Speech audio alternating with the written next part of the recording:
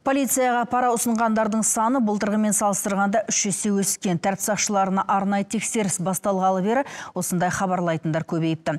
Яғни өзге емес полицейлердің өздері шағымданады екен. Ішкі істер органдары қызметкерлері жұмыс адалдығына тексеретін пилоттық жоба бір ай бұрын басталған болатын. Сынақтың тәсілі тым қарапайым. Полицейлердің өздері жұмыс формасын емес, қарапайым киім киіп, тұрғын ретінде тәртіп сақшыларын тексереді екен. Ең қызығы тәртіп сақшыларының барлығы мұндай сынақтың өтіп жатқанынан хабардар. Ә, Тексеріске алдымен халықпен күнделікті жұмыс істейтін патрульдік учаскелік жасөспірімдер мен көшқын полиция қызметкерлері іліккен. Алдымен олардың халықпен қаншалықты мәдениетті түрде қарым қатынас жасайтыны тұрғындар өтінішіне шапшаң жауап беру қабілеті бақыланған. Әзірге бір айды қорытындылаған ішкі істер министрлігі құқық бұзушылық емес кемшіліктер ғана анықталды деп отыр. Егер пара алып жатқан жерінен қолға түссе жазадан құтылмайды деп сендіреді министрліктегілер.